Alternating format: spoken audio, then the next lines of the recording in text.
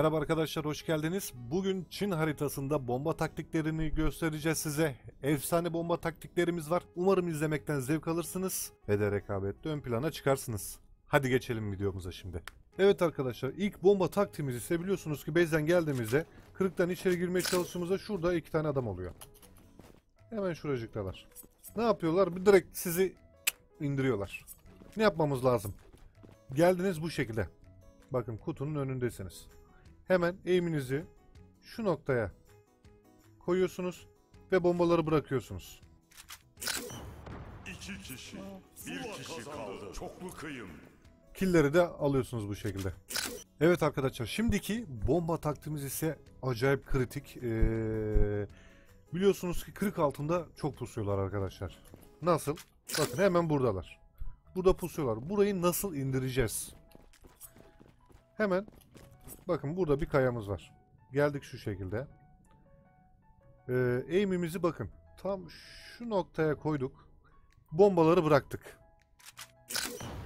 İki kişi, bir kişi kaldı. Çoklu kıyım. Killeri de topluyoruz böyle. Hadi hemen geçelim bir sonraki taktiğimize. Bomba bölgelerini koru.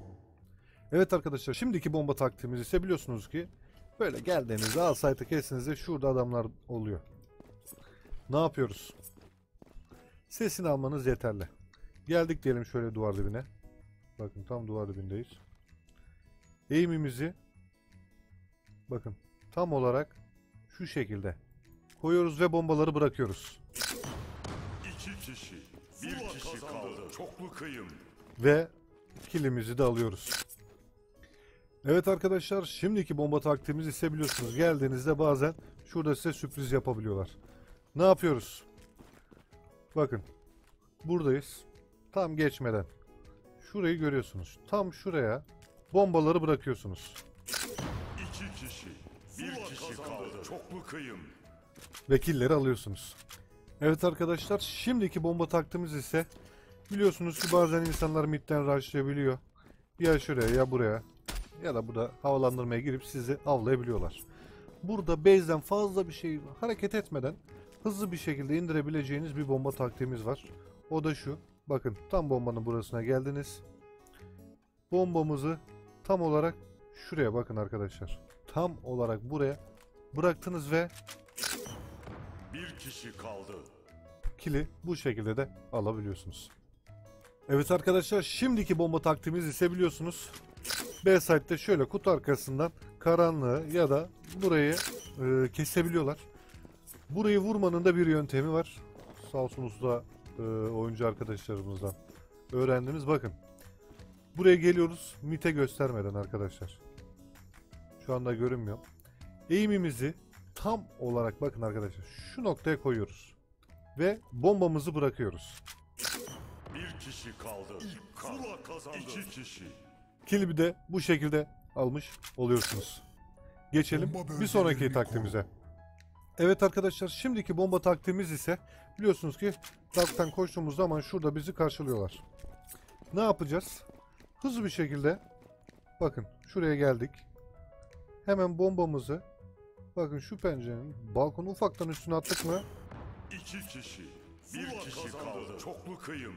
killeri de bu şekilde toplamış olduk. Şimdi geçelim bir sonraki bomba taktiğimize. Evet arkadaşlar şimdiki bomba taktiğimiz ise biliyorsunuz ki kırın dış kısmını göstermiştik. Şimdi içini göstereceğiz size.